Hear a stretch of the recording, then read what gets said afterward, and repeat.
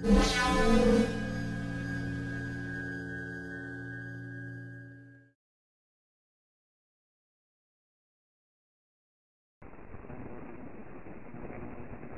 الله إليكم. هل يجوز للرجل أن يتحدث إلى المرأة التي يريد الزواج الزواج بها؟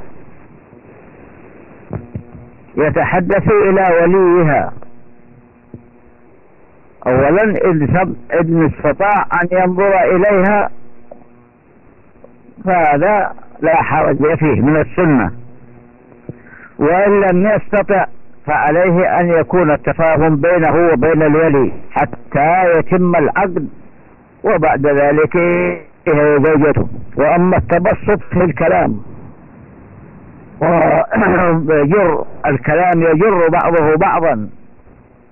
حتى يقع هو أو هي في المأثم فلا ينبغي أن يبتعد عنه الشاب المسلم خيانة بنفسه من الوقوع في الخطأ وهكذا تبتدع تبتعد عنه المخطوبة صيانة لعرضها وحفظا لدينها وحفظا أيضا بكرامة أهلها.